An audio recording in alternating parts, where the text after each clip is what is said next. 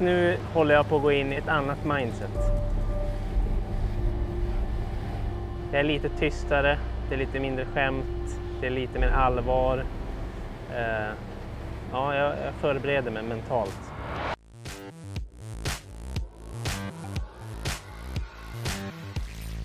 Alla drömmer väl när man är liten om man får bo på en öde Ja, exakt. Med facit i hand, hur var det då? Med facit i hand så kan jag säga så här. Jag kommer nog inte boka en resa där jag bor på en strand igen. Det spelar ingen roll om det är ett hotell där. Jag gillar inte sand längre. Så mycket kan jag säga. Och eh, att bo på en öde är mycket jobbigare än vad man tror. Mm. Så mycket kan jag säga. Ja, jag kan tänka mig ändå. Alltså just sanden som är överallt, kommer in överallt. Och, eh, men vad var det liksom, okay, berätta lite, vad, vad, var det som var en sån stor överraskning? Ja, men det som, för min del så tror jag att den största, liksom, vad jag trodde skulle vara det värsta, det är mat, eh, hunger och törst. Liksom. Mm. Eh, det är vad jag trodde skulle vara jobbigast. Men så fort du har fyllt upp det behovet så har du ju sand, det är fuktigt jämt, alltså det regnar ju nästan varje natt. Eh, man, man, är blöt konstant och sandig konstant och så är det liksom små, små eh, djur man får skydda sig mot eh, hela tiden. Och det är väl det som eh, jag, jag, skulle nog kunna säga alla tyckte var jobbigast. Nätterna liksom? Ja, ja men nätterna och att det är liksom fuktigt hela tiden och känner såklart man har ingen ork heller så att det är liksom man eh, man är väl kanske inte den bästa produktiva personen eh, med, under den där vistelsen utan det tär ju på en ganska hårt att vara utan eh, mat och vatten. Eller man har ju vatten men det är inte så fint vatten.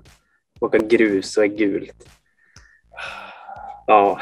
Ja, men jag har hört en del historier från ön. Ja. Ja, det, det, är verkligen, alltså man fattar att det är mycket tuffare. Ja. Än man trodde det skulle vara. Alltså jag, när, jag fick programmet presenterat för mig så var det, ja, det är som Robinson typ. Liksom. Och det verkar ju tufft nog. Inte, inte ja. något så, men det verkar verkligen ha varit slitsamt. Ja, och jag anser mig själv vara en person som inte...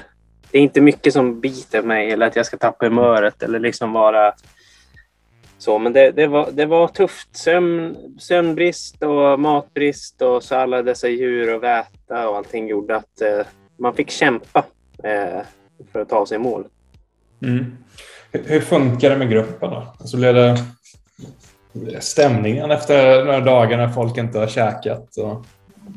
Ja, men gen generellt så är väl alla eh, eh liksom lite tröttare och kanske inte sina bästa versioner av sig själv, men jag tycker vi ändå höll upp humöret. Det var aldrig något tjafs eller någonting.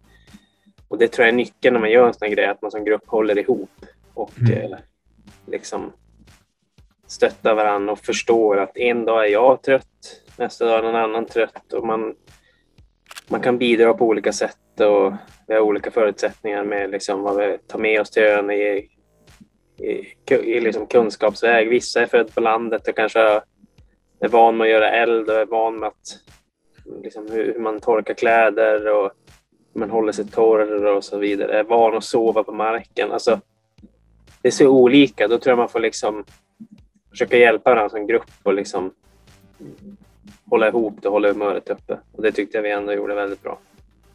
Alltså, vissa samtal jag haft Nej, det nästan känns som att man typ snackar med så här hemvändande soldater eller någonting. Det, alla verkar vara liksom så här, ja, men smått skärrade liksom från upplevelsen och det, man märker att den gjorde verkligen intryck på ett eh, ja. djupare plan än kanske vad någon var, var beredd på.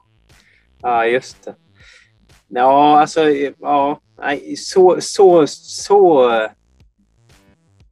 stort intryck kanske gjorde det inte på mig, skulle jag säga. Att det är liksom att jag var ute i krig eller någonting. Men, Nej, det, det är såklart en överdrift. Ja, men återigen, jag, tror, jag tror jag har en fördel av att jag själv är ute ganska mycket själv i naturen och tältar. Mm. Och liksom, jag finner en viss trygghet i det. Jag är, jag är ju mer, mer rädd för att vara i Gamla stan efter klockan nio än att mm. vara på en ö Det är, liksom, det, det är läskigare för mig.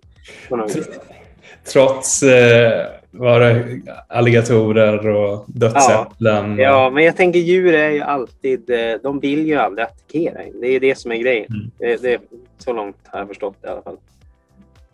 Men vad, vad, var det, vad var det sjukaste djuret du mötte? Ja, det är ju eh, en eh, alligator. Mm. Det är nog det sj- sjukaste jag så har sett.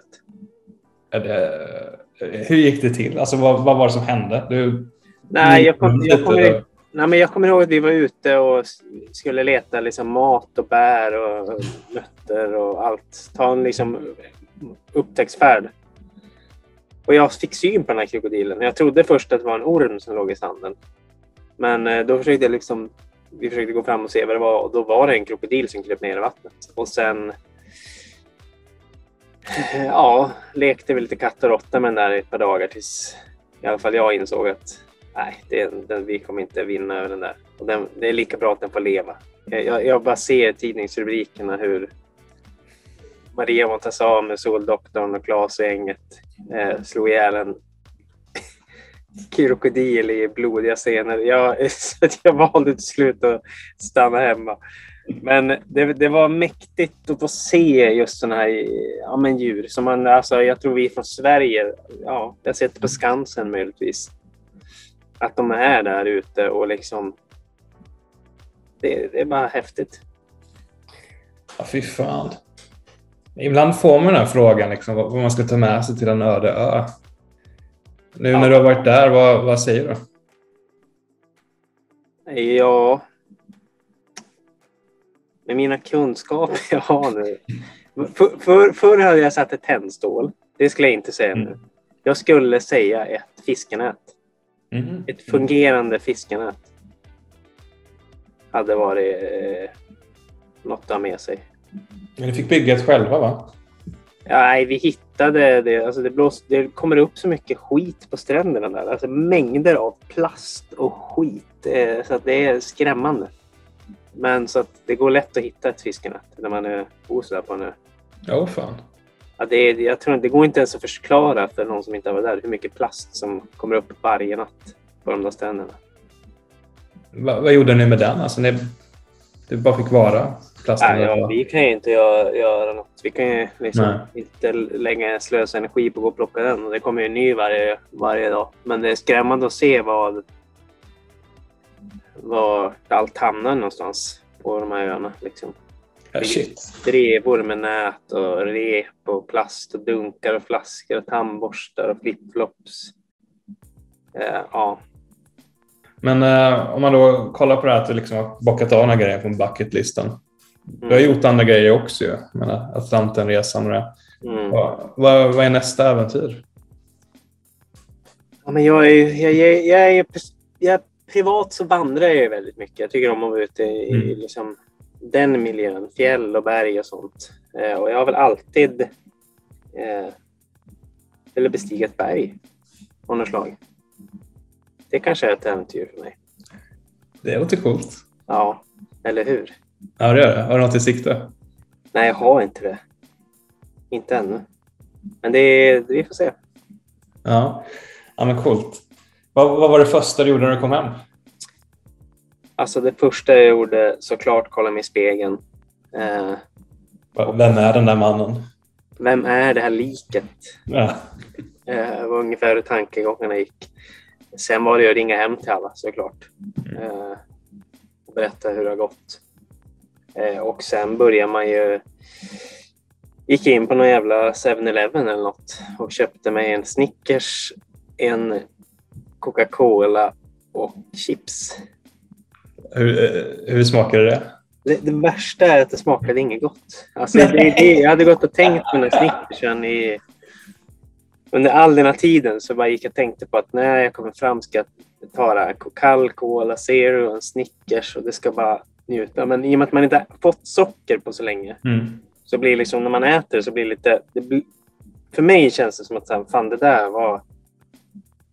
Jag vet inte, det ska inte vara i min kropp kände jag då. Det där kändes onaturligt. Det blev för mycket på något vis. Ja, ja. Det var nästan som att man fick el i kroppen. Väldigt speciellt. Men det var ändå liksom din livlina på ett sätt under den här tiden för Ja. den här bilden. det. Ja. Det var det. Man, jag längtar än väldigt mycket till mat eh, Mm. och såna här jävla men basala grejer som man bara... Ta, du går ju hem och tar en handduk och torkar händerna. Mm. Eller ta på ett par strumpor. Allt sånt tänkte jag. När jag kommer hem ska jag varje dag säga tack till varenda liten grej vi människor har kommit på. En toamatta. Tack. Strumpor. Tack. Sängar. Tack. Allt finns av en anledning. Alltså allt är där av en anledning. Och vi ska njuta av det nu resten av mitt liv. Ja, hur länge i sig? Nej, jag tänker inte på det så mycket längre. Men jag har, jag, har, jag har en liten rutin att jag sätter mig på sängen varje morgon och, och bara säger tack till allt som jag har kring mig. Då ibland då blir det i alla fall så här, tack för att man har tak över huvudet och en säng att sova på. Så det, ja. Ja, men det är inte så dumt. Du har ju liksom fått något slags eh, ödmjukt perspektiv. Ja, ja, men gud, vi har det så bra. Mm. Det, det har vi.